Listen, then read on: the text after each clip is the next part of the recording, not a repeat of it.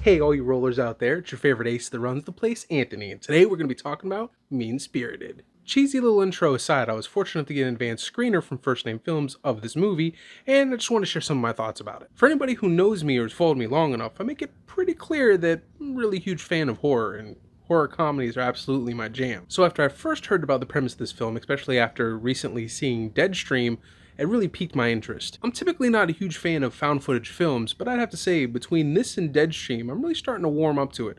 Or maybe it could be the sub sub genre of making fun of streamers, influencers, and YouTubers. Which, trust me, the irony's not lost on me. And that's pretty much what you're going to get with this film, as it follows the story of the amazing Andy and his channel, Mean Spirited, where he does a whole bunch of just well, mean spirited pranks. And they really do a good job of capturing that feeling of these YouTube, TikTok influencers that do these pranks that just nobody ever really seems to find funny, or even going as far as saying there's times where it really feels like almost a Logan Paul esque character, but without the viewership and followers. Which explains his rather large chip on his shoulders to where Andy is trying to get his 15 minutes of fame and try and chase that much larger viewership.